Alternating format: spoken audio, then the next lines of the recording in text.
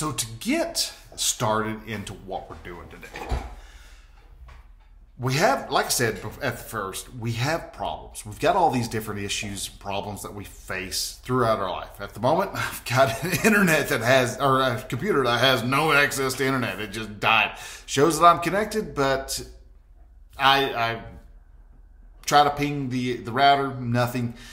Try to ping out past the router, nothing. And so, who knows what the issue is? And I'll, well, it'll get itself figured out. It normally does takes about an hour for it to wake up. It gotta love the uh, the cable internet system here in in the town that I am at at the moment. But anyhow, so how is using positive thoughts able to beat what your problems are?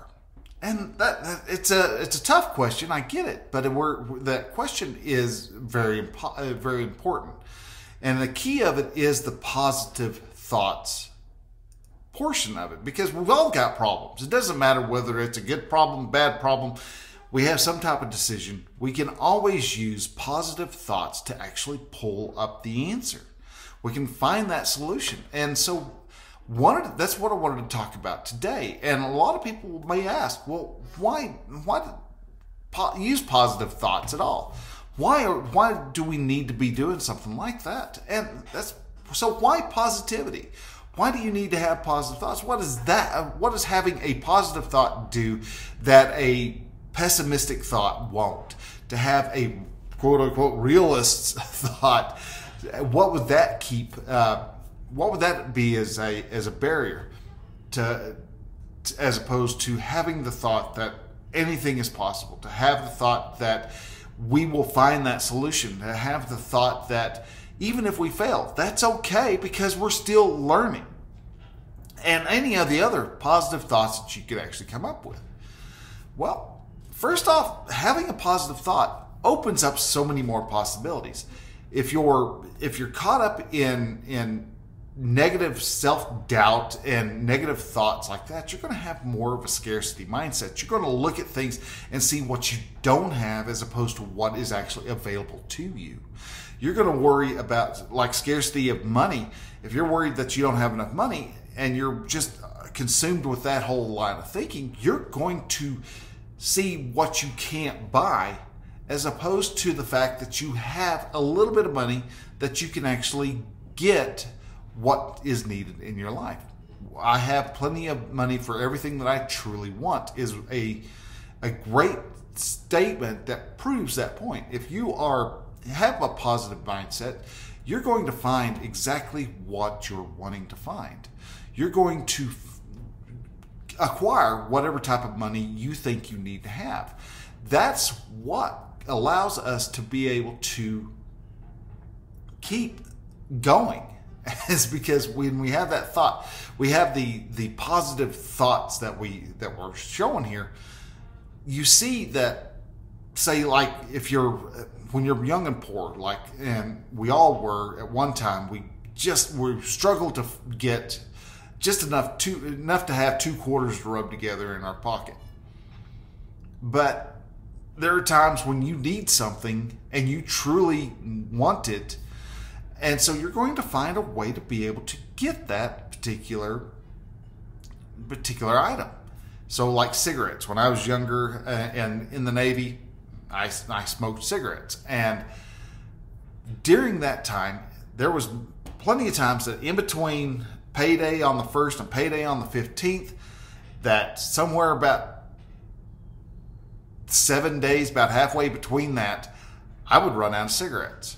And what would I need to do? I didn't have any money. I already spent all the money on bills and all that. And I was, how, what do I, how, where do I get cigarettes from? Well, you found ways of acquiring enough money to get a pack of cigarettes or to get a Coke or get whatever it is you're wanting to get.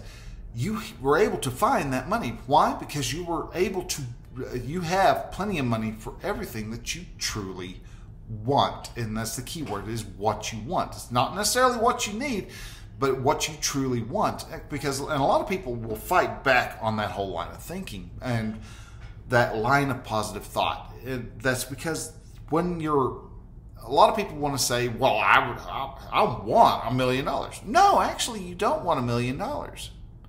If you wanted a million dollars, you would do what it takes to get that million dollars. Just wanting something isn't the key, but the fact that you want it, you're going to achieve what it is you're after when you have the positive thoughts that uh, correspond with that whole line of, of thinking. So it opens up all your possibilities. When you are being a, have a positive mindset, when you think of what's uh, what's possible, and you start acknowledging that what's possible, you're going to actually have a better chance of achieving what you're after. So it also, you know, a lot of what's the alternative? You want to look at the life as doom and gloom? I mean, really, come on, man. That's not really all that great of a means of living, and that's proof look at how many people walk around today with the thought that their life is crap and that they, you know they're always being victims to something. A lot of them complain about you know about capitalism being you know making victims of everything. And no, man, it's the only reason why you're suffering through through capitalism is because the system is a natural naturally occurring system. And so when you're allowing, when you think, oh, I'm just going to give up and I'm not going to work because it's not even worth it, well, then you're not going to have the money for the great things that you want. And so you want to sit around and complain that it's not fair that you have to work for the rest of your life. Guess what? If you we didn't have capitalist uh, system, you would still you would have to work 3 times harder than if you did just with the capitalist system. You're going to have to work. Do you want to be working just to be able to go out every day to dig up a potato so you actually have one little bitty, itty bitty potato available to eat for that day? Or would you rather be able to just go to the store and go get yourself, you know, a, a, a McChicken or, you know, something from a from a fast food joint with some fries and a Coke and have all that. And it cost you, you know, 15 bucks. Sadly, these days it's just really stupid expensive. In my thought line of thinking. So how do we say you decide, you know what, uh, you're right. This somehow my magical uh, uh, magical talking within the last, you know, five ten minutes has somehow automatically boom you've changed your thoughts and you are wanting to have a more positive line of thinking I mean, I, I know I'm amazing that way, but still, it, it, it might be a, li- a little bit of a stretch. So, how do you change your view? What if you're going through life and or going through your day and you're realizing, God, man, I'm just really freaking negative today. What is I am a negative Nancy. What is that? What do I need to do to change my thoughts? I want to have a better line of thinking for just for the day. Who cares about tomorrow? Tomorrow you can be, you know, you can be Oscar the Grouch for the rest of the day if you want. That's fine. No, nothing wrong with that. So, but today you would like to have a better line of thinking. Well, all right, sweet, awesome. So, what do you think would be your first step? First is and a lot of folks will think, well, just start thinking positive thoughts. No, no, no, no. Why do you want positive thoughts? If you think it's going to make you feel better, yeah, yeah, it will. This is one of those things where you actually can make yourself feel better because they are your thoughts. So you can, if you're tired of being, you know, grumpy and you're tired of having the attitude that you're having, then yeah, change your thoughts. If you think that all of a sudden it's going to magically eliminate all the problems in your life, no. you get positive thoughts or negative thoughts, you're going to have problems in your life. You will forever have problems in your life. Even the richest of the rich have problems. The poorest of the poor have problems. And you, being middle of the road, being mediocre man, you, have got problems. You're always going to have problems, and the problems are going to have problems. And when you make create solutions to those problems, that solution is going to just make more problems. So you can either look at all what I just said and go, "Well, what's the what's the use?" Or you can go, huh, all right, that's a good adventure. Let's try this one out. You have the that ability. You have the the ability to change your attitude. And the reason that you change your attitude is because your thoughts make your emotions. Thoughts create your feelings, feelings create your actions, actions create your results. So, yes, your thoughts create your results. If you're tired of having failure after failure after failure, change what you're thinking, change how you're approaching that problem, change how you are thinking about that problem, and see what happens to your life then. So, how do you change your view? First off, is mindset. I mean, come on, mindset is probably one of the most important things. If you think you're going to fail, you're going to fail. If you think you're going to run into a crap ton of problems, you're going to run into a crap ton of problems. That's all there is to it. It is all dependent upon you. Are you going to be able to do something or are you not going to be able to do something? That you have to decide what is what's the possibility? What's going to go on? What's not going to go on? If you are willing to change the the the mindset you're building up a foundation for success down the road. If you look at any of the richest people they have the ability they have the thoughts the mindset of this is possible. What happens if you run into a problem? We'll figure it out. We'll get it we'll the object, the obstacle is the way, as as the book uh, by Ryan Holiday says. You have the the means to overcome any problem. The question is, are you willing to use those means, or are you just going to sit in the mud and whine about it? So be aware of the negative thoughts. That's the next big thing when you are going through a problem and you come to a, to a obstacle in your life and you're wondering, well, what am I going to do with this? How am I going to get past this? Well, that's up to you. How do you get past this? And you need to pay attention to the thoughts that you are having. Actually, do some serious thought work about what's going on in your world. Because when you come up with a solution to that problem, you're going to find that your world works a lot better you're going to have a smoother ride through life when you actually are getting rid of those negative thoughts. Now, are you going to be able to get rid of all negative thoughts? No, no, no. Our brain is designed to look for the negative. But we also have the this big, you know, see all this skin up here? That is a good representation of your of the prefrontal cortex of your brain. All right. For me, I mean, I'm, I'm losing uh, losing the hair. So about halfway through, halfway back of my on my head, I've got oh, I've got an eight head. No, no four heads. I've got uh, it's double the size. So it's it's a uh, it's an eight head. But the fact that we are able to think and we are able to use logic, we can actually change and realize first realize that we are having a negative thought, having a thought that is going to hold us back.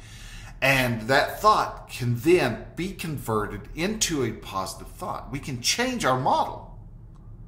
And that's one of the great, wonderful things about it. It's when you realize you've got a, you're running off of a model that is self defeating, you can change that model to one where you're able to start taking steps towards more success.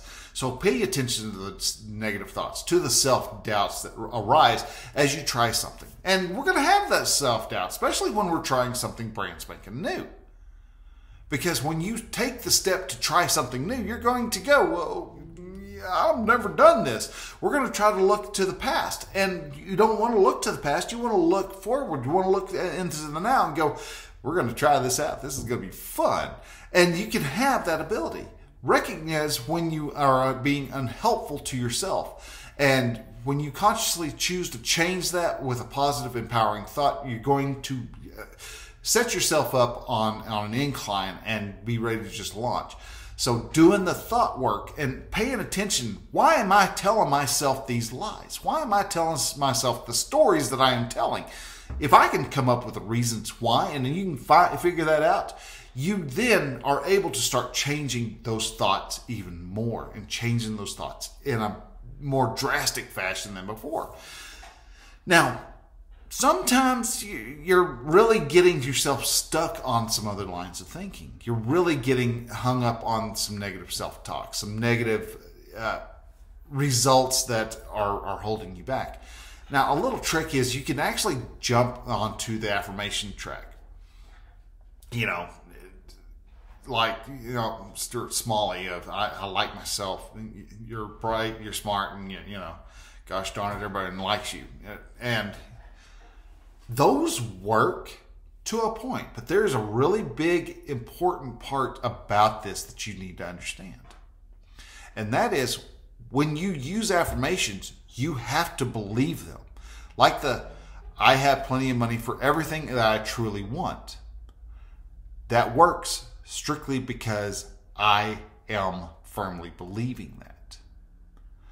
If I didn't believe it, it's not going to work. So you can hear some affirmations that sound really good, but do they really agree, do you really agree with that? And you can you can agree with it. Your beliefs are just thoughts that you perceive to be true. So you can change your thought. You can have a different thought about that and a lot of people go, no, you can't do that. You can't just change your beliefs. Well, I, I would know that there are a lot of Muslims who become Jewish and, and Christians who would disagree, and a lot of Christians who become Jewish and Muslim would disagree, and a lot of Muslims who become or uh, Jewish Hebrews who become Christians or or Muslim who would disagree. Those are those three types of uh, of religions or I mean they're all Abrahamic religion, but they all are very a lot of times very well stuck to their their own line of thinking. And so if you're running into the problem of you know can you change your beliefs? Well, yeah. Buddhists become Christians. Christians, you know, become Hindu. Hindus become Muslims. Muslims become, you know, become whatever they want to become. It's all because of what our thoughts are. Our thoughts are our beliefs are our thoughts that we perceive to be true. So you can use the affirmations, but make sure that you that you believe them. And if you don't believe them and you're still trying to use them, you doing the kind of fake it till you make it uh, angle? That's good. You can repeat that to yourself until you believe it. That does help out tremendously.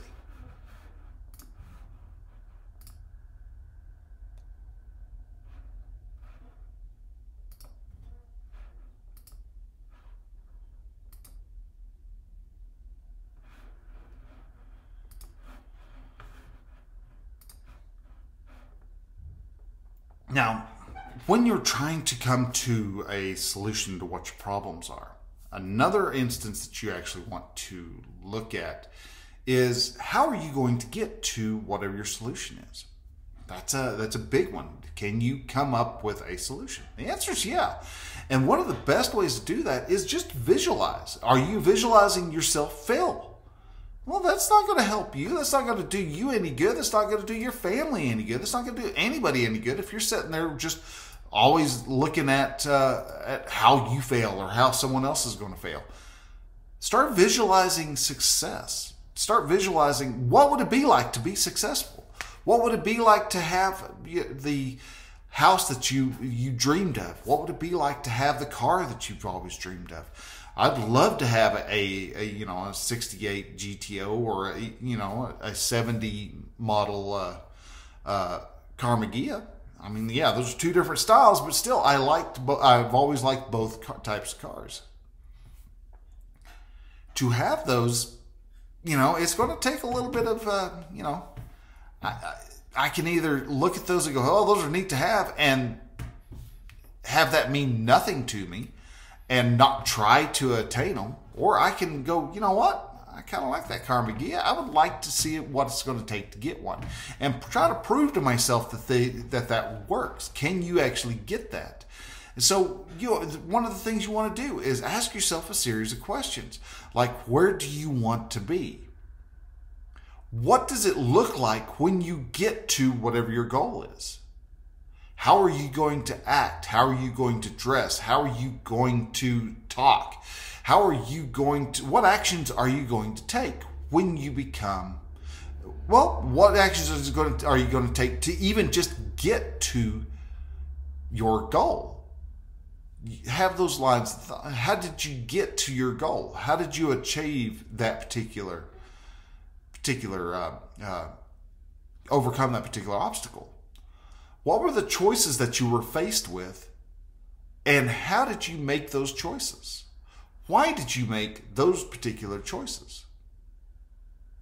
And those are great questions to ask yourself to help you visualize where you want to be. What does it look like, smell like, taste like? You know, activate all those, all your senses. When you're able to do that, your your results are going, and what you see and how you're questing to get the uh, to the particular goal is going to become a lot quicker and a lot better and a lot stronger. So also practice gratitude. Uh, man, I mean, come on. The attitude of gratitude is one of the greatest motivators and means of making you positive. And you can become a hell of a lot more positive just because you are willing to actually state and be in a state of gratitude. And you can do this by just, you know, one of the fun things to actually do is buy a bunch of thank you cards and write out say you go to a, to a restaurant and you had someone who just did a really bang up job. Grab one of those thank you cards and just write out hey i appreciate everything that you did. You took great consideration in this. And just you know let them know that you are incredibly grateful for the work that you did. You don't have to just give them money. You can give them money and a card. The tip is a wonderful thing and you can actually put it inside there just so that they know that how grateful you are for what what they did when you're grateful and uh, grateful gratitude journals are amazing tools to help you change your mindset change your attitude in, about the world. When you have a lot more gratitude in life you're going to see a lot more possibilities you're going to see that you're I am grateful for this Behringer microphone. I am grateful for the fact that I am in an office that I can actually do a podcast in. I am grateful for having the 4th of July off so that I can do great things, which is the day that I'm doing this podcast. And so it's you have gratitude. I am grateful that I have a wife that cooks wonderful meals for me. Though, yeah, I may want to. I am even grateful for the fact that she has given me a stomach that would make a pregnant woman jealous. I have I've got a gut on me. I am out of I'm working at getting myself into shape. I am not in the shape that I want to be yet, but because I have the ability to want to go out and get myself into shape, I have I'm grateful for the fact that I'm out of shape so that I can get myself into shape. You can see how this all rolls together, and it's a wonderful, wonderful means of changing your line of thinking, changing how you look at the world. And when you're grateful, all of a sudden the world is a whole lot brighter, a whole lot sunnier. You birds are singing, you got rainbows in the air, and I don't mean the gay rainbows either. I'm talking about actual rainbows, and the sky is just a little bit bluer, and it's just a wonderful day. You also want to uh, surround yourself with positive, and so find positive men for your your brotherhood of men group.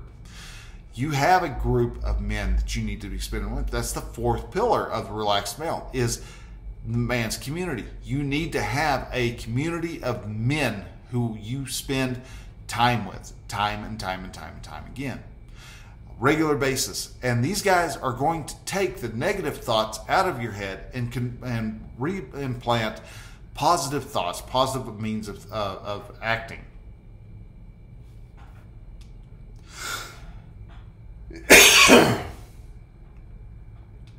so you can actually be able to see that you have positive outcomes.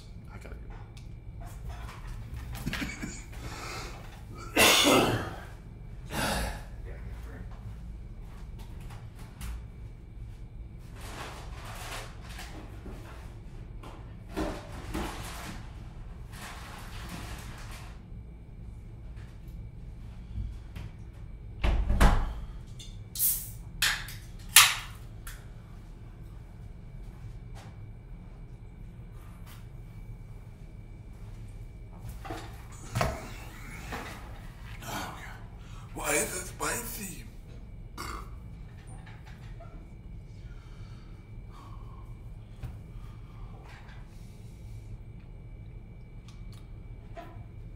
So surround yourself with those bands of brothers. You need them in your life. One, one again, I, I, you'll hear me say multiple times in multiple different podcast episodes. The fourth pillar is quite possibly the most important pillar you need because when you have a good, strong friend community pillar, number one, your uh, previous your first three pillars happen automatically. You become more learned. You become you start wanting to learn more so that you can share with your friends. You get yourself into shape because hey, your friends are getting in themselves into shape too, and you're helping.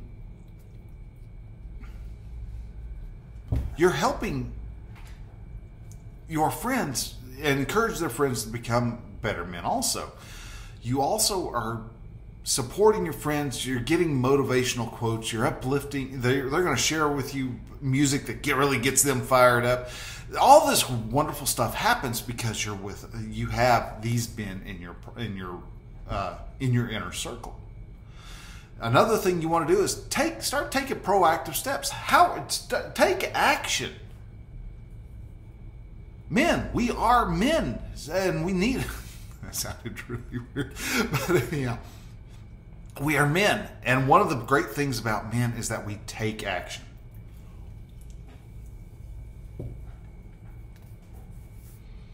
And you can't take if you don't take action, you're never going to see the results that you want. But some of the ways that you can actually take action is have talk to your friends, talk to your friend, uh, let them know what you're wanting to, to achieve. They're going to help you do that. Another way is to hire a coach. Hello, I am a coach. I you can reach out to me. Go to relaxedmale.com forward slash coaching and uh, go over there. Set up a time for a consult call, and we'll sit down. We'll talk, find out how well we mix together, and find out what it is we want to actually get worked on when we actually have those types of, of events set in our uh, items set in our, our life, take those steps, take those those the needed steps to be able to get to where you want to go, and having friends, having that positive uh, positive reinforcement group helps you with that. Now, one of the less fun things that's going to happen when you're on a quest, when you're doing something, when you're getting stuff done, is you're going to have setbacks. You're going to fail, and you're going to fail often, and you're going to fail early often, and you're going to think that you're in a Bloodborne in the Bloodborne game. You're going to in a From Software game because of how many times you're failing. Not that you're going to die, but you just you're failing every time and often and often again and time and time and time again you can either A, give up, and that would be a failure, or you can re- learn from your failure and grow from it. Because failing is not, is there's nothing wrong with failing. It is failure. It is a learning moment, but it is failure nonetheless. And if when you're able to see failure for being something that, yeah, it's not pleasant, but you're, you're going to get yourself back up and you're going to try it again. You're going to do what it was that you wanted to try before, and you're going to do it again and again and again and again and again. So learn from the setbacks and understand that those setbacks aren't just failures so much as they are just learning, uh, learning events. Take care of yourself. You know, setting back, working. You know, letting your your second pillar, the man's body, just go to crap isn't going to help your mindset at all. When you're sitting around a whole bunch of negative people and they're doing a bunch of negative stuff, you're going to fall into that also, and you're not going to take care of yourself. And so when it's time to t- use the extra energy, you're going to you're going to you're going to struggle with that. So practice self care. Now, it doesn't mean you need to go out and get a mani pedi or anything like that. You, but you know, maybe you have a hobby that you like to do shift mental gears from time to time. If you're pushing real hard and you're, oh, you know, and it's just you're you're making making progress, but it's going a little slow. What happens if you drop down a gear? all of a sudden you're going to start finding yourself climbing a lot easier. Yeah, you're not going as fast, but you're climbing a lot easier.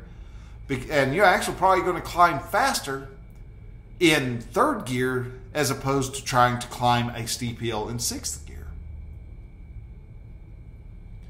So, and that is the same same instance. You have to slow yourself down. Take care and work on your hobbies. Make sure you do have some hobbies. That's part of the the third pillar, feeding your soul. You have to have a hobby that you can actually use as a means to shift your your your mind because your brain's working on one thing all the time. It's going to get a little little weirded out, and when you can shift it, it's oh and it will start it will breathe a little bit more. And then you'll notice as soon as you go back to the other uh, to the original problem all of a sudden your brain's like going oh, oh yeah there's here's the solution and, da, da, da, and away you go. So also seek support when needed. Talking to your coaches talking to your friends. When you have something heavy going on talk to those those people who are within your inner circle professionals. If you're really struggling, got a little bit depression going in, then go, yeah, go talk to a to a therapist. Nothing wrong with talking to a therapist. It's, they're they're there for a reason. If you're struggling on getting past a obstacle that's in your in your way that you're trying to that as soon as you clear that obstacle, you're you know you're halfway closer to your goal.